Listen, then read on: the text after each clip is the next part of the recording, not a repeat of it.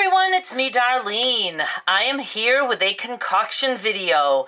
I've been wanting to make my mother some chocolate chip cookies using the ready-made dough and I just never get around to it. But it's cold. It is like negative one Fahrenheit right now and in this old house I can feel that cold air pouring in and my lovely heat escaping through those same cracks.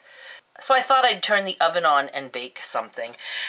I'm going to be adding things to this. But what I'm going to do right now, since I just took these out of the fridge and I don't feel like waiting until they get to room temperature, I'm just going to cut them up a little bit and that'll just let them uh, soften a little bit quicker. And then I'll be able to roll them up and do whatever I want. I went and grabbed various ingredients from her side of the house, her um, miniature marshmallows, walnuts. Ooh, I could go get some raisins. I forgot about that. And what else do I have? I even have a graham cracker. And I brought these two little things. I was like, what are those? I didn't get you those. I guess my sister had got her a bag. They're chocolate with, uh, she said there's a cookie in there. So I'll use those two things. She has a whole bunch of them, but I grabbed two. And I have chocolate chips here, but I don't need chocolate chips because there's already chocolate chips in this. Let me go get a couple of raisins. I'm going to let this sit here until I can, you know, form a ball, and I'll be back. That didn't take long at all. I can already roll a ball. So what I'm going to do is, I'm going to figure out what I want to do. This one, I think I will be putting this on the cookie sheet as is, and then I, I don't even have to press it down. I'd like to remember like two minutes before they're done cooking, I want to put a couple of miniature marshmallows on that one. So that guy's done. Now let's make one with some raisins. So she's going to have a variety. Just thought it would be fun to try some different things. And I'm just going to put some raisins in with this.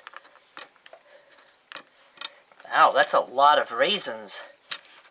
Stay in there, raisins. I think she'll really like this one. Alright, good enough. Oh, On the cookie sheet.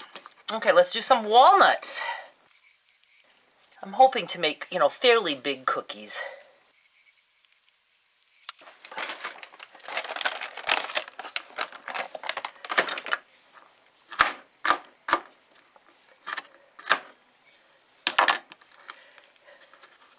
Wow, that's a lot of walnuts too.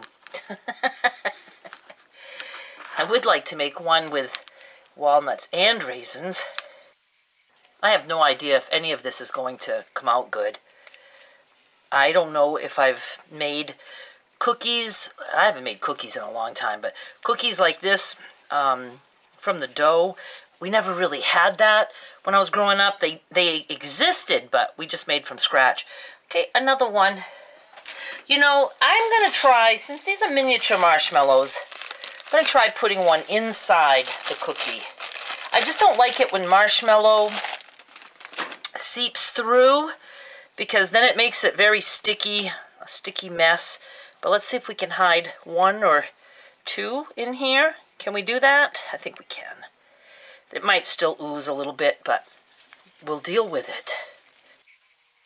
Good. Now, I just, I don't know, I thought of crunching up some graham um, crackers and shoving that in a, in a cookie. Let's try it. Of course, I won't be able to tell you how these taste, but maybe it will encourage you to do some of your own experimenting. Well, I think I'm going to flatten this guy pretty good shove that shit in there. and then just kind of like, I don't know, roll it up in there somehow. A couple of walnuts sticking on there too. Gee, I should have rolled them in powdered sugar too. Are my balls getting bigger? I think they are. I started with this and now I'm up to this. I don't want this one to be plain anymore. Now that I know I can hide a marshmallow in it. Okay, I can't get any bigger. What else do I have? Oh, I, I have I have these guys. Maybe I can stick that inside also. Cover it a little bit. That's going to be awful big. I don't want too big of a cookie. Let's take some of this off. And then let's see what we've got here. Well, I think I do need a little bit more. I'm trying to keep them even. All right. Next, what am I doing again? Can I make one with a little bit of everything? I think we'll do that. So let's just do like a little bit of raisins, a little bit of graham,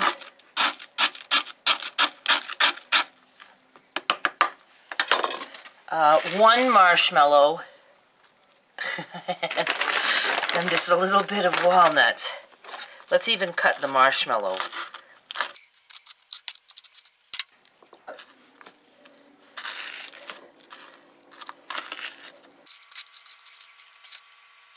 Hmm, I don't like the marshmallow sticking out like that.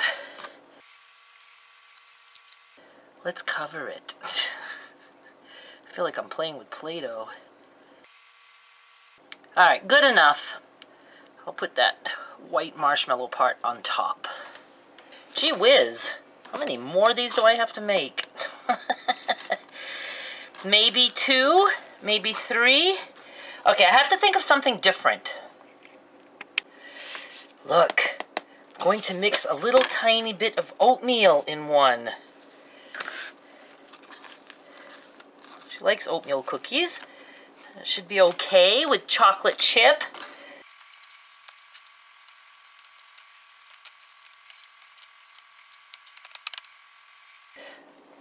Gee, I don't have them marked. We're never going to know what's what unless it's obvious like this. This is pretty obvious that there's oatmeal. There we go. I'm gonna have to get another pan.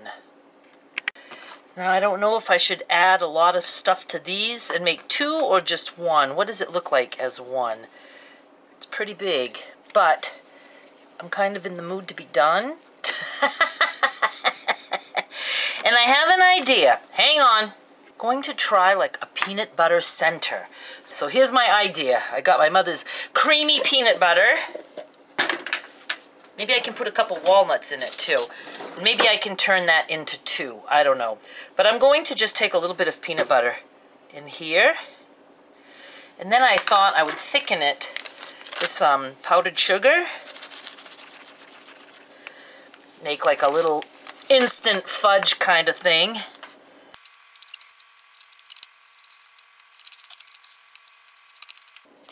Okay, let's just push this out now. That on here. Pretty sure I can just form a ball. Yeah, and I think we're going to separate this guy into two smaller ones. And let's separate the little peanut butter center also. It'll probably come oozing out, but whatever. Okay. Let's try rolling it in some powdered sugar.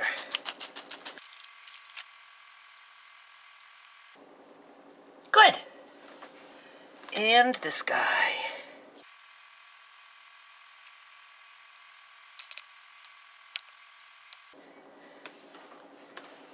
So I have these three and these, well there's six. Maybe I'll put them four on a pan.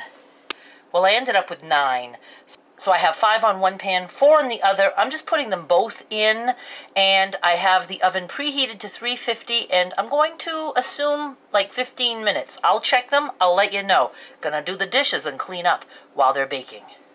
I always want to leave them in the oven because I feel like they're not cooked yet and then I always end up leaving them too long and then I regret because my mother likes them chewy. Now these are smaller than the ones on the other uh, cookie sheet. These two are the ones that were rolled in the confectionate sugar. So those have the peanut butter balls in them. And look, didn't ooze out. And these, uh, this one is oatmeal. I can tell, I think, I don't know. Let's look at the others. The hell does that one have sticking out of it? Walnuts. This one must have had the marshmallows or maybe that little chocolate covered cookie that just melted. I don't know. Isn't this exciting that it's going to be surprises? mother will be like, this was my favorite. Make more like this. And I'll be like, I have no clue what is in that cookie. So, but hopefully it will give you an idea. I'm going to let these cool a little bit and then I'm going to take them off the, uh, whatever. What the hell is this called? Cookie sheets. I think these came out great. Of course, I don't know for sure, but I'm pretty sure they're going to be nice and chewy the bottoms, a little bit darker maybe than I would have liked, but you know, there's certainly, well, that's a little bit darker even. But this one was in the powdered sugar, so maybe that's why. See, that might be the reason. Let's look at this one. Nah, not too bad. They're not burned. Oh, look at that. That came out great. Now, I wonder what was in these two that made them flatten out more. Oh, this is the oatmeal one. I have a feeling this is going to be her favorite. See, darker there, raisins. When there's something really sugary, it might, uh, see, this, this isn't dark. Huh. Well, anyway, I had fun experimenting with that. And uh, I hope you give it a try. I'm going to try sugar cookie dough also. And I'm just going to try to think up all kinds of things. Next time I go shopping, I'll have that in my head ball. What can I add to the cookie dough. Thank you so much for watching. Please subscribe so you don't miss any of my future videos. Bye!